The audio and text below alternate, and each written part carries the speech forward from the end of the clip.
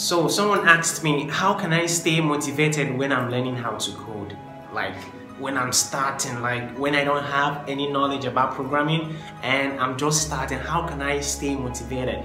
You know why this topic is very important is because a lot of people have learning to code as their new year resolutions and when they start it becomes very difficult, very gruesome. You know when they buy that course and they are just like 10% into it, it becomes so difficult to continue because you're trying to learn and it's not flowing. You write some functions and it's not working, and some things are not just coming together.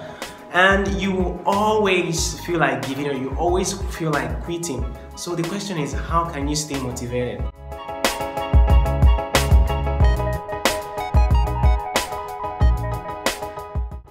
You know, let me quickly share a little bit of my story with you guys, right? So I learned how to program in 2011. You know, before then I was an economics student like I was studying economics in the university. So learning to program was entirely out of the scope of what I originally know and the things I'm currently used to. It was a totally new area. Though I was a lover of computer, you know, I like operating computers and all that. It was in me, you know, but writing the codes was a little bit difficult for me. But look at what I did. You know, when I started learning, when I joined the class, because it was a boot camp, a very small boot camp, like it wasn't so serious. Okay, so I kind of stumbled on it, people learning software development. So I just approached them and was like, guys, I want to join in this class. They were like, I have to pay so so so amount of dollars and it wasn't really expensive. So I just joined in and started learning. We actually started learning to up to for loops. It was a very nice class because the instructor was very good, you know, to be able to distill most of the concepts in a very good way, explained it and be able to understand it. But the key that actually made me to learn very well, that actually made me to become a software developer at the end of the day was practicing, okay? So practice with small projects first of all. Because when you start learning, you won't get good at it. It will possibly be very confusing for you because it's more like a new area. It's more like a newborn baby. When you come into the world, a lot of things are not so clear to you. So it's the same thing when you start writing codes. A lot of things won't be clear to you at the beginning but you need to try and start practicing with the small problems. Most of the time, the first problem to practice with, like I said in most of my videos, it's a calculator, right? So a calculator is more like brings the concept of mathematics, you know, and combining with real life application and you see it work together. So when you practice with small projects, when you practice with small problems, it gives you the confidence and it brings up the excitement required for you to take over big stuff.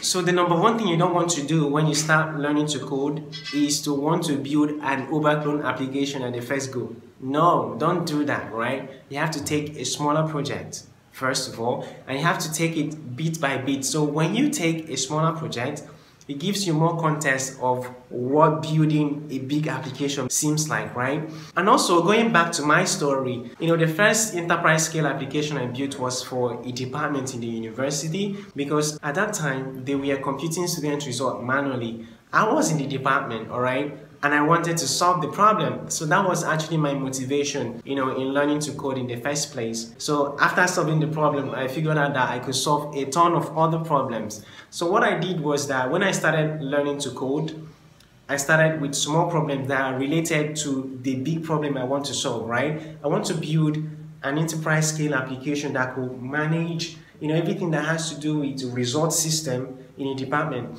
So first of all, I have to learn how to work with Excel sheets. I have to learn how to, you know, run loops. I have to learn how to work with lists and generic lists. I have to learn how to work with databases. So I started learning all these steps bit by bit, bit by bit. And after six months, yeah, of practice and trying out different things, I was able to build a full-blown enterprise scale application.